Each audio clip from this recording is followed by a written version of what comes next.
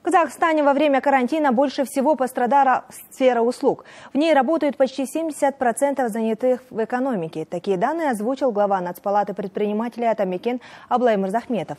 По его словам, с начала года производство услуг снизилось на более чем 6%, в результате чего ВВП сократился на 3%.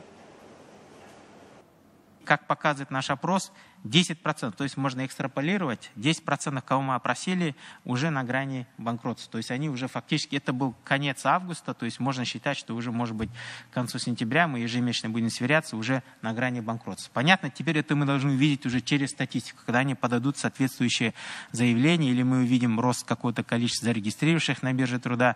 И 30% опрошенных заявили о том, что они готовы приступить к сокращению, оптимизации своего штата. Половина уже сокращения, половина отпуск без содержания. То есть самочувствие бизнеса, оно такое достаточно тревожное. Аблай Мирзахметов сообщил, что в стране проведут ревизию налоговой сферы. В течение трех-двух лет разработают новый налоговый кодекс. Такая мера предпринимается для поддержки бизнеса.